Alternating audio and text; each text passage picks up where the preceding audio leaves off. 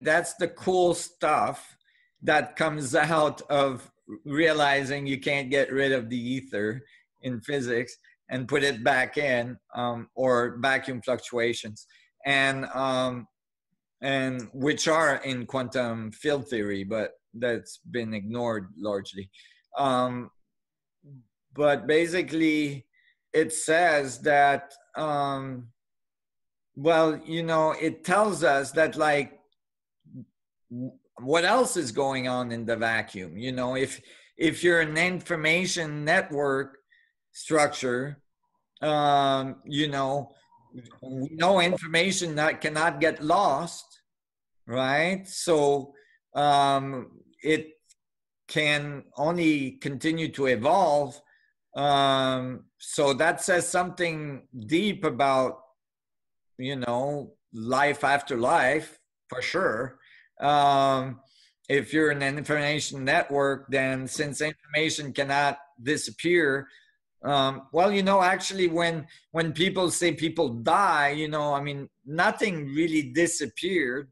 Um, meaning all the atoms they're made of, all all the stuff they've ever been made of, is still on the planet somewhere or off the planet if it flew off in some tornado or you know um, but um, you know it it um it um it has a lot of potential uh, to describe you know what people describe as out of body experience and experiencing their consciousness in non-local area you know non-locally meaning you know experiencing their body being i don't know laying in bed or sitting somewhere and at the same time experiencing you know being in a in a facility you know across the world from where they are um, and being able to describe it what the people call remote viewing uh, you know like all these things that um, some of them have been uh, explored more than others and confirmed more than others. Like certainly remote viewing has been confirmed and published in peer reviewed journals that are very serious physics journals, the best ones, um, all, all the way back to the 70s, I believe. Um, but certainly, you know, out of body experience and all this can start to make sense. And I, I always say this, you know, it's like spirituality is just physics we haven't understood yet. Like what spiritual phenomenons that people have had you know experiences that so many people have uh, that they might they might only have them once in their lifetime uh, or they might happen quite commonly. They don't just they don't necessarily pay attention to that. Um, for instance you know what people call deja vu experiences or uh, you know you think of somebody and all of a sudden they call you know, and they haven't talked to you in a year, um, you know, things like that. And, you know, like these little hints almost that life gives us along the way that what's visible is not the whole thing.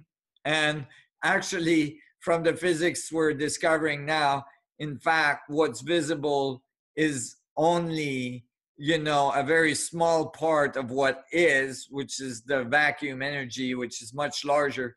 And really the material world is just like a little small teeny dynamic of what's actually there.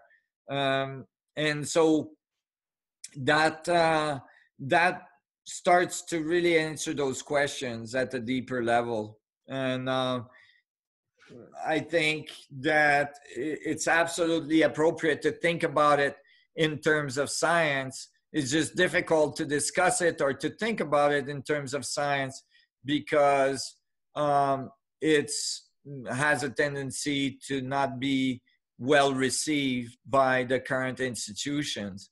Um, but it's not like it's not happening. It's not like it's not been measured in some cases and it's certainly not because it's eh, you know people are not having those experiences they are having those experiences and those experiences are very valid experiences uh, and i think they're telling us something about our nature that's much deeper uh, about our our capacity as well to interact with the vacuum consciously and to influence the vacuum, to influence the ether, what I call vacuum engineering.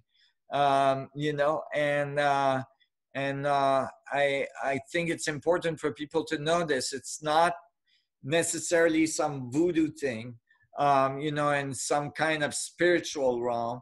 It's very much tied to the physical and to the way um, physics works to produce the physical.